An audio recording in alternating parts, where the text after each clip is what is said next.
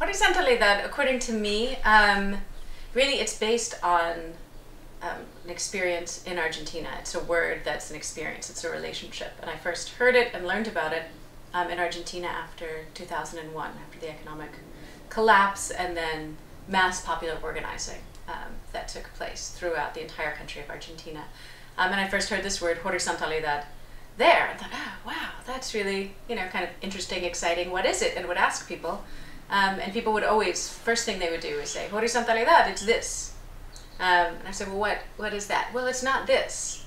Um, and it was a description of a relationship people were creating um, and attempting to create. So to ask people in Argentina, they would say um, it's kind of a tool to get to a certain kind of relationship. So you use forms of horizontal relating, direct communication, face to face, respecting um, the other person and difference, so as to create a more horizontal space. So it's kind of a tool and a goal in a lot of ways.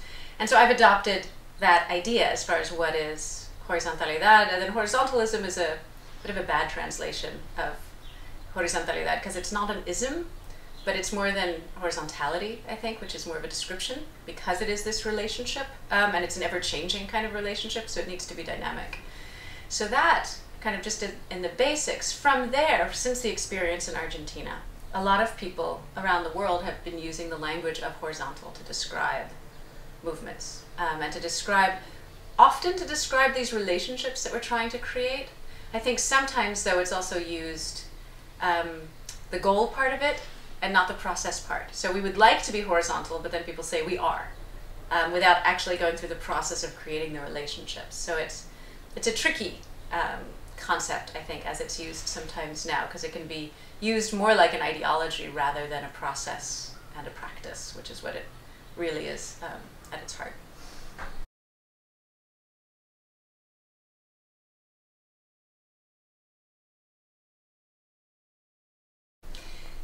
The necessity of the horizontalidad, I mean, I think a lot of things arise from necessity in the new movements that we're looking at now, and the new movements meaning going back to Argentina and even the Zapatistas. But um, necessity is both survival necessity, so questions in Argentina was economic crisis, it was people coming together to, to find ways to survive, but also the necessity to be heard and to be with one another. So it's not just needing to survive, but needing to be acknowledged and seen in a society where you've been completely shut out. And that's part of where the crisis comes from. So there's kind of these multiple levels of necessity, and this horizontal relationship comes out of both needing to be heard with one another and needing to construct concretely something different.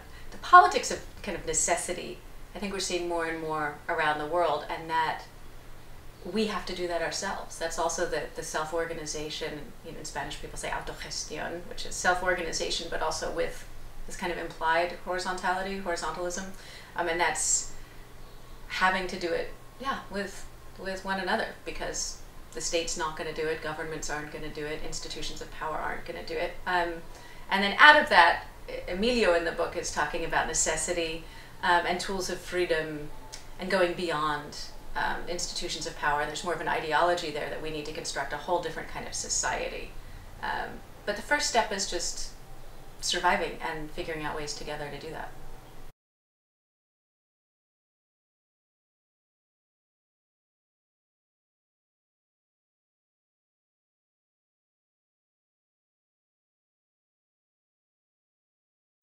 Hmm. Um, the the construction of horizontal relationships is about not looking at difference, but it's also not about trying to create sameness either. So it is a kind of seeing that people are different and acknowledging that, but working together as a kind of collective whole. So acknowledging that we all come from different places of power, of identity, um, and then working together in as flat a way as possible and as equal a way um, as possible. So not homogenizing at all in a sameness sense, but being able to all be in the same space and acknowledging these differences.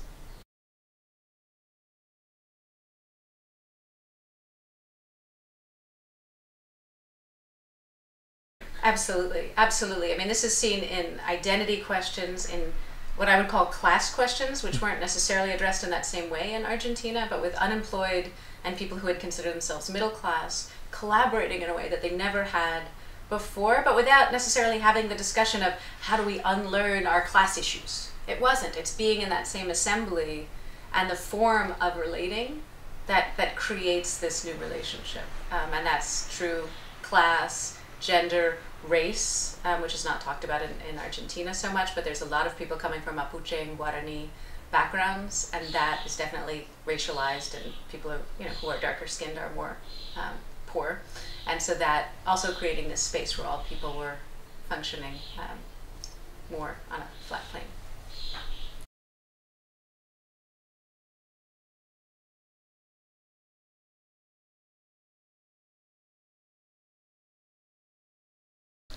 So this is Claudia, um, who is a very good friend of mine as well. Over the years, became a very good friend of mine.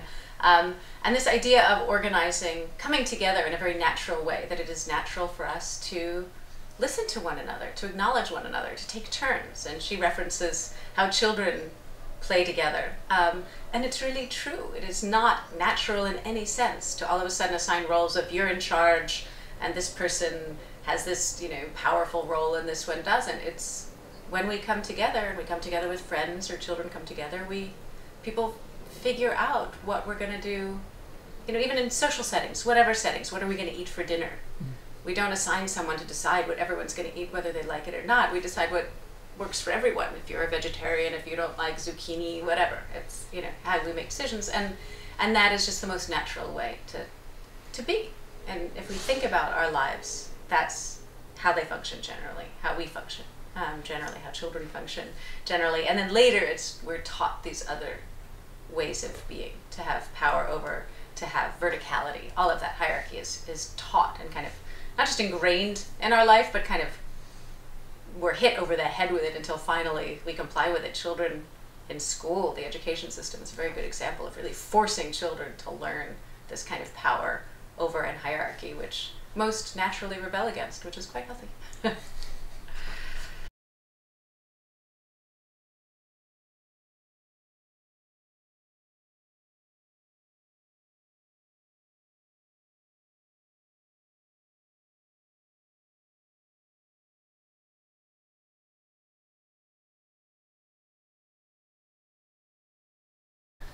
Hmm. Yeah. It's beautiful. Um, that the idea, I mean, when people start to talk about creating spaces where you're just dreaming, where you're free, where you can create, where there's the production of, you know, alternative desires and really just exploring ourselves and our deepest creativity and desires is a, is a place where movement has evolved in a certain way. I think that relationships have developed enough so that people can start to imagine in this way.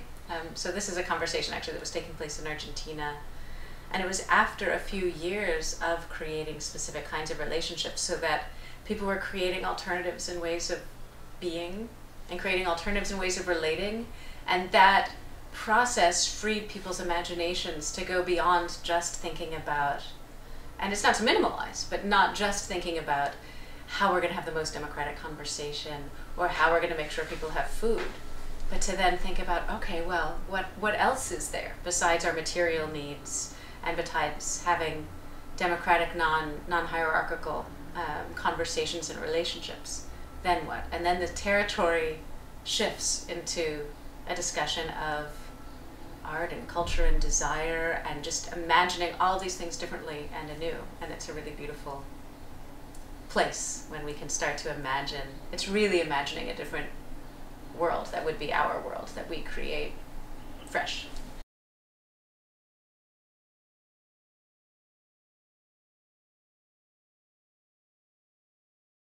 Yeah, it's really interesting because it was very early on um, when uh, people in the movements in Argentina were still just kind of figuring out what is horizontalidad and then reflecting on what is this process that they were creating and that they named there. You know, there wasn't a name for it before in, in Spanish or in English. Um, but then to warn very early that it could become an ideology was an important warning.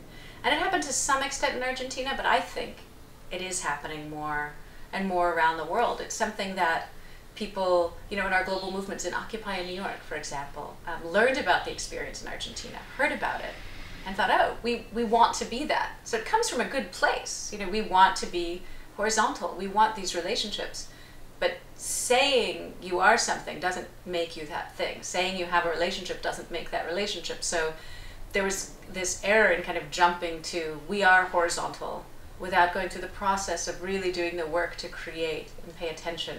I mean, we did a very good job in creating relationships, but we kind of jumped a little bit. Um, the other danger in this kind of making it more of an ideology or a thing rather than a process um, is making it almost a hierarchy of who's more horizontal. And so there, you know, we've seen in some of our movements, I think now, um, and I'm meaning everything from Occupy to the 15M or different movements around the world, a, a sense of, you know, well, we're more horizontal. You know, we've broken down hierarchy more than you. Um, and, and that's creating its own kind of power and hierarchy in that comparison. And so it's, again, not focusing on the relationship and the development and the process itself and focusing on it as if it's a, a thing.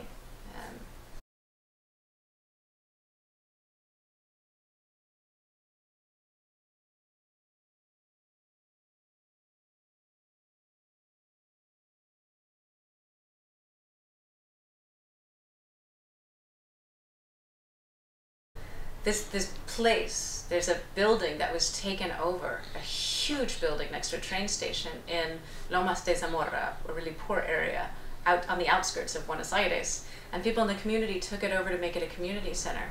And it's just this massive cement building that a few different assemblies came together neighborhood assemblies and an unemployed group to take over the building and, and room by room reconstruct it and make it useful for the community. And they had to build trust among one another to do that. So the fear um, that a lot of people talk about breaking with is, I think it's a multi-layered fear that people are talking about. It's a fear just of being able to do anything in society. I'm just being afraid to not fear that someone will hurt you, but but a fear of of doing, of acting, of organizing, and and just your own agency. Um, there's that kind of level of fear, I think, that people just don't do it. Um, and then there's a fear, again, it's not a fear that someone's going to hurt you, but a kind of fear of one another, not having trust in one another. And I think it's breaking down that, that kind of fear um, that maybe someone will ridicule you, maybe you won't be accepted. Um, so it's a kind of personal, emotional fear that I think is also broken down. And then the, the contrast to it is the trust that's built. So, so many people in movements going back to Argentina, but also in the movements now talk about trust, care, and in Argentina in particular, they talk about love and afectividad, so affect with an A, um, and the importance of that emotion in the construction of new relationships. So it's breaking with the fear, but to break that fear, it's not just having horizontal relationships. We have to be creating something else with one another. And so it's creating a trust through care. And that happens in practice and what we do to take care of each other. But it happens also in just the nature of active listening and paying attention to the person, all of us who've been excluded and ignored by all institutions pretty much always. Um, so that it's breaking down the fear and creating something different in that space.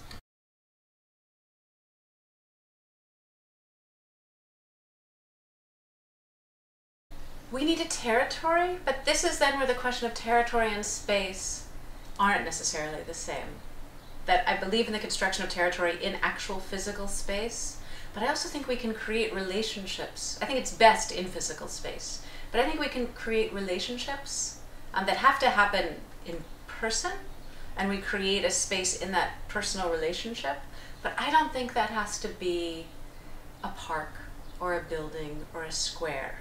Um, I think we can create these relationships with one another without being in a the same physical space. But there needs to be the physicality. There needs to be the the relationship and a regular relationship with one another to be able to do that. So I think we can create those relationships. I think the it relating to something concrete is what's really important. Um, and that we have, you know, when the assemblies take place all over the world, you see people standing in a circle. And that circle to me is the construction of a territory. So it happened that in the Occupy movements in Gezi Park and, and 15M, that we were in parks and plazas that we occupied. Um, but we all were standing pretty much always in circles to have the conversations to look at one another. And I think that that we're constructing a kind of space with one another is what's important. Um, ideally, we're in a physical space. But to be deprived of that space doesn't mean we can't have our construction anymore. We can. I think we just need to think in terms of what are we constructing with these new relationships.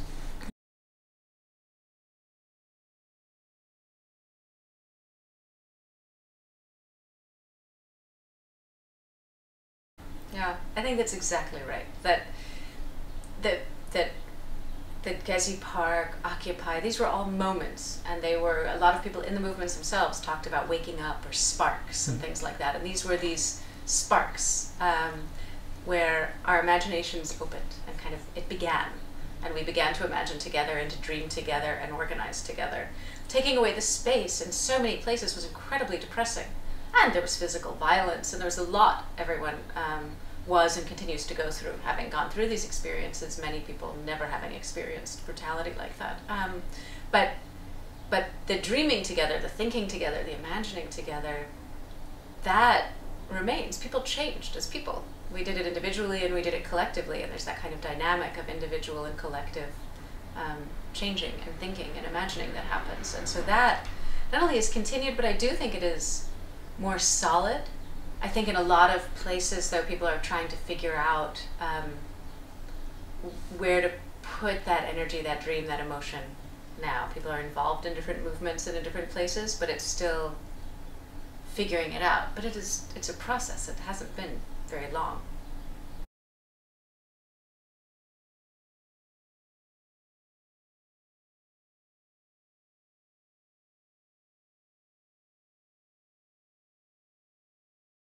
In Argentina, it's interesting on this topic that they people in the movements now who are people who are just getting involved. So we're talking, you know, almost 15 years later, using the same forms of organization, horizontalidad, affective politics, self-organization, refer to what happened on the 19th and 20th, the banging of the pots and pans and the forcing out of the governments, as, um, well, they talk about that as a kind of moment, as a break.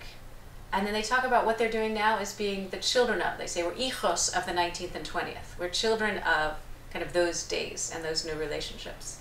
And I think that's a really interesting and useful way to think about us as far as relationship to Occupy and Gezi and, and um, Plaza del Sol and the different Syntagma places around the world, um, is that we are continuing to organize and think and imagine in a way kind of that we learned there. We were marked from that. So whether we're children of it or in Spain, they talk about the DNA that came from Sol and 15M. So it kind of, it's in us, in our way of relating. Um, and I think that's a really helpful way to think about it as well.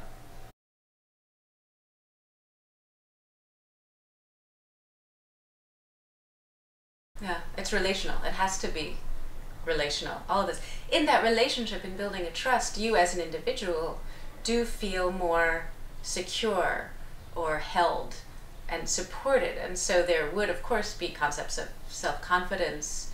It's not a word that I've heard used probably at all by anyone in movements. People talk about trust. Sometimes people talk about feeling like subjects or actors. I mean, this has been true for years in different movements around the world. It's a very similar language people are using, and, and a kind of agency that's my word but a kind of agency people are feeling in this. But it's more coming out of the relationship, most people talk, yeah, about trust and care as a base.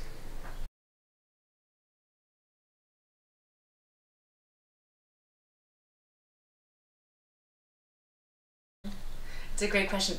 Visually, it really is how, when I saw the first visual of Gezi Park, I knew this was a movement like the 15M in Spain, like Occupy. And you could tell by looking. I don't speak Turkish. I didn't see subtitles to the conversations, but the the organization of the space, the way people were facing one another, the way people you I, I first saw an assembly, um, and you can see you could see how people were actively listening to each other, how something was being facilitated.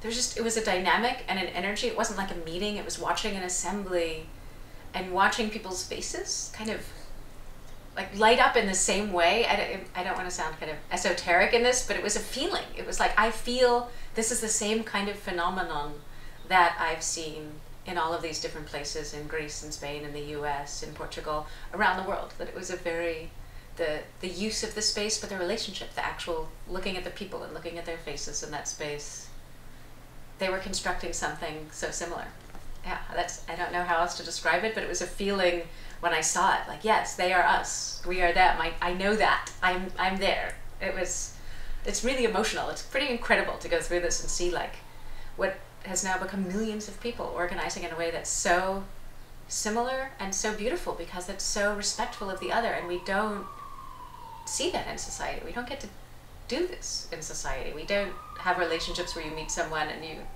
start to really try to listen and have people help so we can listen to one another and respect each other and and then try to do things to make our lives better collectively. Yeah.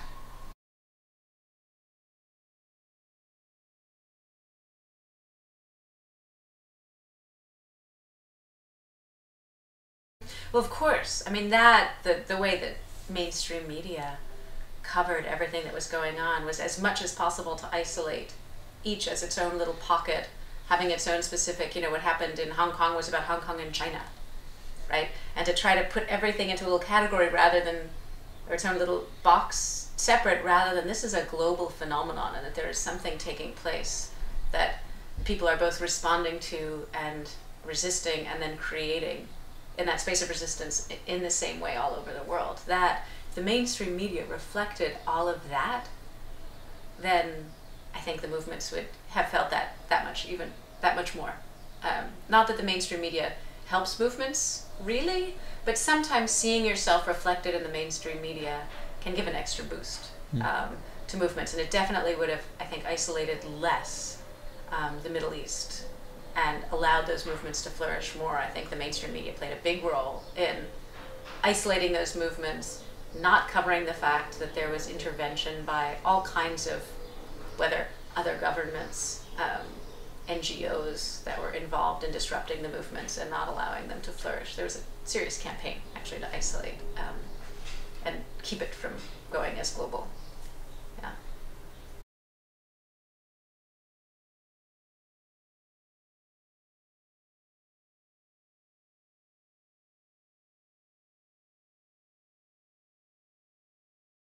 I mean, I think, yeah, for making important decisions, you have to have smaller groups of people. It also, then people hold one another accountable because it's a smaller group, so it's much easier to tell that person, okay, whoever you are, Michelle, you're going on and on and on. You can't do that, and there's an accountability because a trust has been built with each other um, to not do that, to not take each other's space. So I think smaller groups. There's so many reasons why.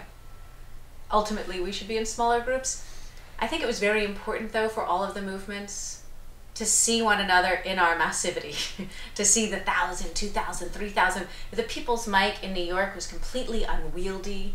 Um, and the people adopted it around the world when they actually could use microphones and could use amplifying sound. Um, but it was to hear one another's voice. That was the part that was so important to hear our own voices in the beginning by the thousands. That was central after that, absolutely moving into smaller groups um, is really the only way I also believe that we can make really concrete decisions together because of the question of time, because of the questions of trust, um, and to be more locational so that people who know one another because we live in the same neighborhood or we work in the same place or we our children go to the same school that there's some kind of commonality bringing us together rather than we take subways to a or buses or bicycle to a park. Um, that that works for some moments, but in the longer term, in a vision of creating a whole new society, it has to be more specific and locational, for sure.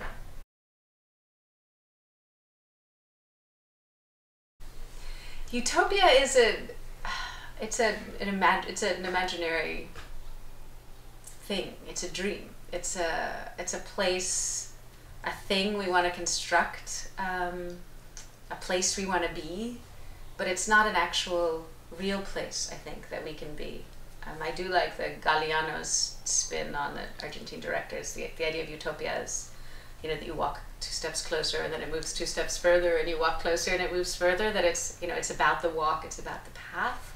And, and I have a similar sense of utopia. Somewhere it's a, um, a way of relating and being in a society where we can really hear one another and be ourselves and, and learn to be different selves by relating in different ways with each other and creating a kind of base of, of freedom and emancipation where that can happen.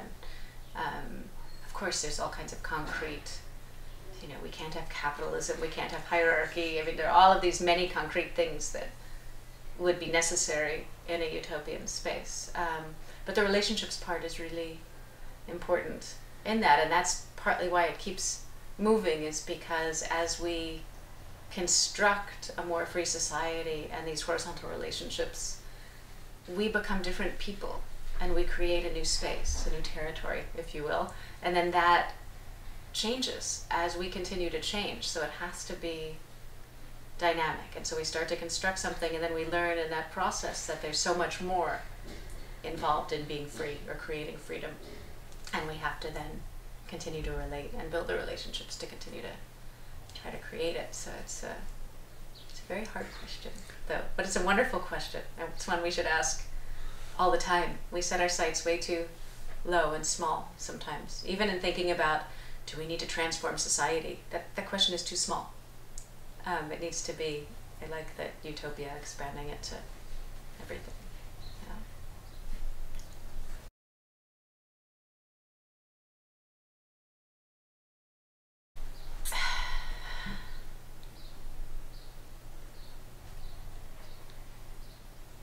I think utopia would redefine territory. I don't know how to answer the question because we need territory. We need to construct new territories. Um, and that is, you know, what people have been doing, and I think that's what we're going to continue to do in this kind of path towards utopia. Um, but then maybe we won't need to construct territory. Maybe it'll mean something very different. Um, so the way we understand the construction of something in space now, once we have more freedom to be and to relate, the concept of space, I think, will be different, and the concept of territory will have to be different. So I can't imagine what that's going to be except to know that it's dynamic and it will be changing. Yeah. I don't know. Okay. I don't know. Yeah. Thank you. It's uh,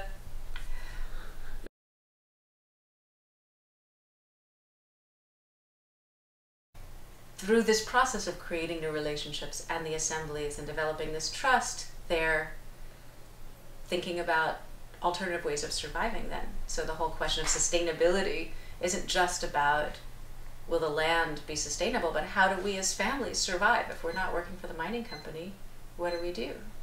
Um, Okay. Well, we got the 11 minutes. and that was I don't know That's- who's yeah, who's beep beep